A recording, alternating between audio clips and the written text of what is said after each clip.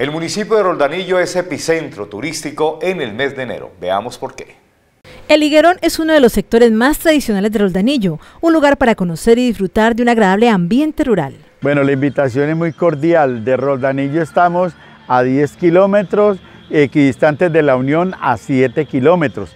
Entonces, eh, usted llega a la panorama, gira, a, si viene Roldanillo gira a la izquierda, si viene la Unión gira a la derecha y a 100 metros está este parque temático de mito y leyenda donde usted puede venir con su familia, recrearse, eh, tomar aire puro, si gusta oír la misa, si gusta ver la capilla y compartir con, con su familia eh, un rato agradable en este corregimiento que es pura paz.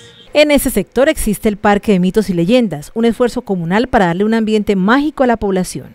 Este proyecto lo hemos hecho solo con la comunidad, aquí no hay dinero de ninguna entidad oficial, todo ha sido de la comunidad de Morelia que ha hecho sus aportes para todos estos gastos y sí nos gustaría mucho que si alguien de, la administración, de la gobernación, de, las gentes que tienen que ver con cultura, se apersonaran más de esto y nos colaboraran para seguir haciendo otros mitos que nos faltan y seguir colocando el, padre, el parque muy bonito, más bonito de lo que está. Una alternativa ecoturística para disfrutar en vacaciones en el norte del valle.